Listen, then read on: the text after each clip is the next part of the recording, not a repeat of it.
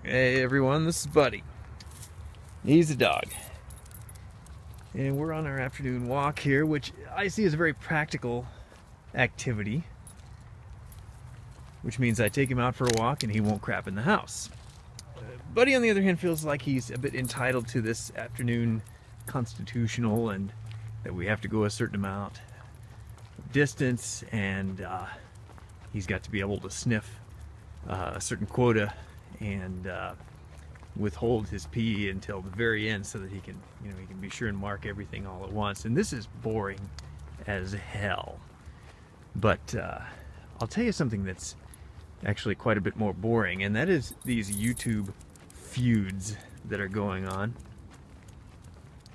I can't think of anything more boring except watching this grass grow, and I've already done one of those videos about the grass growing. So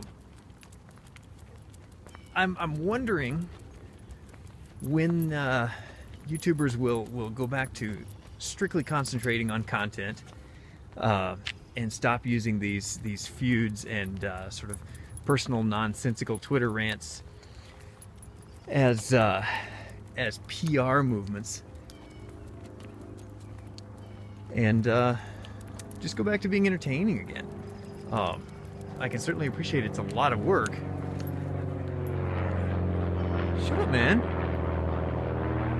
I understand it's a lot of work to make good content. Believe me, back when I was doing a lot more of them, even when I spent a lot of time on it, it was uh, it would take me days to weeks to come out with something that was worth a hoot. But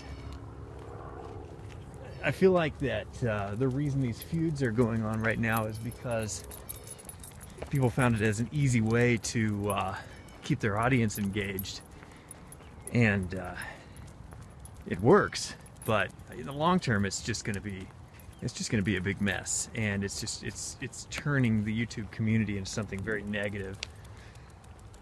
When we could all be laughing at uh, Trip and Grace, so hopefully you know, while we're on the subject of practical things like taking your dog out for a piss, uh, we can be a little bit more practical about YouTubing in general and uh, maybe encourage our favorite YouTubers to uh, make good content, good content, um, be positive, be funny, be beautiful, whatever it is you appreciate about your favorite YouTubers, and uh,